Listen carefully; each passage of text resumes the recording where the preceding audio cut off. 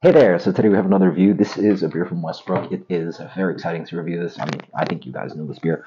Um, I mean, maybe you don't. This is a for me like a old schoolish, mid old schoolish kind of beer. This is Westbrook Gose. Uh, this was canned about a couple months ago.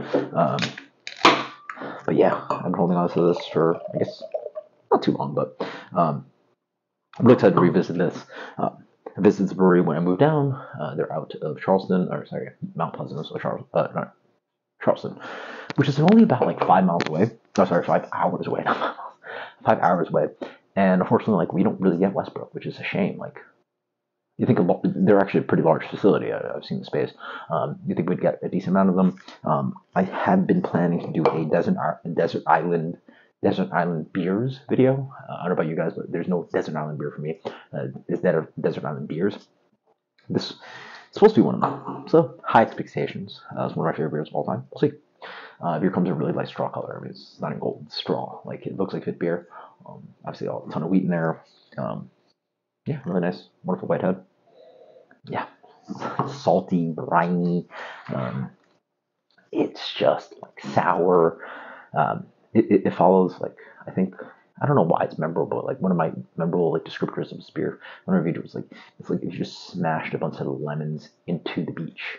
And it's like sandy and salty and salt water and lemony. It's like has a little bit of margarita kind of thing going on. Um, obviously not lime, but lemon. A little bit limey. Uh, it, it's lactic acid, so there's no actual addition of actual uh, lime or lemon juice in here. But and then the floral element of the coriander is really pretty one of the issues I have with uh, Sixpoint's um, uh, Gose was it's just so soapy. The coriander they're using is so floral and soapy, soapy. Uh, here it gets citrusy, it's citrusy coriander. Oh, intoxicating. Smells good. Yeah, that's it.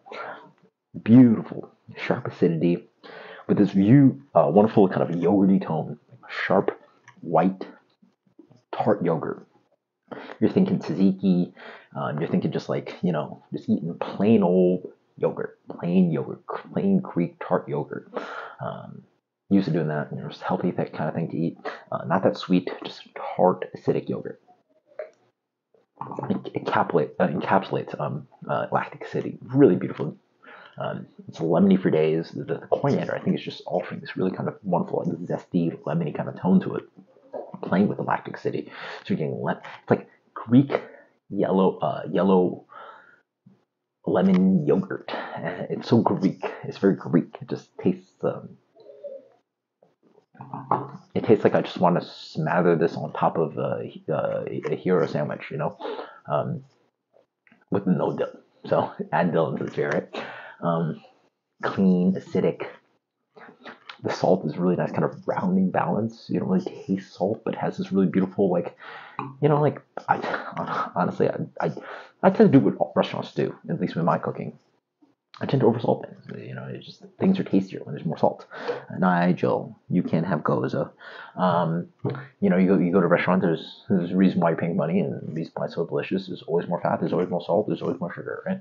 And um, and there's always more like balance and, and focus on all those other things. But you're amping up everything, right? Here, the salt just like rounds that acidity really, really beautifully. Um, there's a kiss of sweetness in here from that malt, a little crackery sweetness, a little doughy. Um, terribly refreshing. And then it dies away. It just goes away. And the beer is freaking 4%. It is under uh, Bud Light. It is under Pilsner Urquell. And it's so flavorful and impactful and refreshing, tart and acidic, and yeah, this is a beer that you want to think of, and you like focus on the little elements of sweetness and acidity and, and fruit flavors, and the coriander and the salt balance and all that cool stuff. Or something you just crush and just not think about. Like I could just do this all day. The acidity is a little sharp, I will say. I think maybe your palate after two or three probably like uh, acclimates to it. But I like the freshness. acidity. That first hit is just like I just came home from work, took a shower, and man, this is just like it's a Gatorade. It's a Gatorade kind of thing. It's more acidic than Gatorade, but has bouncing uh, saltiness to it, and it's just again. I talk about my desert island beers. This reconfirms uh, reconfirms. I guess reconfirms it word, right? Um, definitely one of my Desert island beers. It is so tasty. It is so tasty. Um, again, one of those just well crafted beers. You know, for a while, I probably was rating beers more for impact and and then boom boom boom, but like repeatability, um, impact, impact. There's impact here for four percent. There's a lot of impact here. There's a lot of flavor for this guy for four percent, and then like uh, utility and repeatability. Like it just crushes that. Yeah. Okay. Okay. This might be crazy rating. I mean, it has to be one of my desert island beers. It's just like.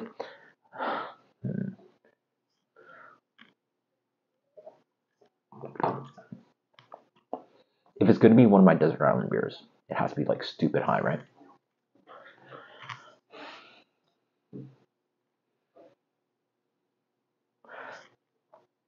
I don't have to. Okay, we're good.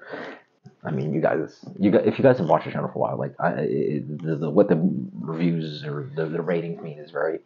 Um, I probably should like do a video about that, but and do it again because like it's been a while since I've talked a, bit, a video about what my rating system actually really means. And in the end, um, the the numbers don't really matter. At least I try to like that's the goal. Like don't just like quickly go into the description and look at the um, the, the, the number. It's, it's really more about what I talk about. Like, you know, like to me, it's more important to talk about like why I got there. Um, I mean, logically, it makes no sense for it not to get a 100 out of 100, 100 out of 100. Why not? 100 out of 100. Like, this is one of my desert island beers. I'm gonna love it. Like, the repeatability and drinkability of it is way too high. Um, I'm sure, it doesn't have like the most like bells and whistles, and um, but for four percent, like man, there's so much flavor for four percent, and um, it's one of the beers that like also repeatability. Like repeatability has got to be something that like is very useful. There's beers that are like very tasty, even like they don't have to be like barrel aged imperial stouts, but there's beers that are like impactful, tasty, repeatable. But like, do you always want to go for it? Like this is a beer that like if I had a case of it, it would just disappear. If if, if I could and it was like reasonably priced, this would just sit in my fridge all the time. I just always have it. Like I would come home, four percent, crush it, like no problem, right? Like like like the utility of this beer is incredible. Um, you really feel like you're satiated with the beer because it's malt and you're not drinking hard seltzer. Um, you have really beautiful acidity. The, the salt offers this alkaline kind of thing that like you know reminds you of Gatorade, and like you can come home and just like, hmm. or you can do it on a hot day. You know, there's multiple utilities. The repeatability is always there for this beer. It's 100 of 100 this Gose is perfect in my mind. Um, unfortunately, I don't believe there's a local um, Florida Gose that like remotely tastes this good. Um, what is it like Margarita Gose from like uh, uh, Cigar City uh, does something similar, but there's nothing like this. Such a shame.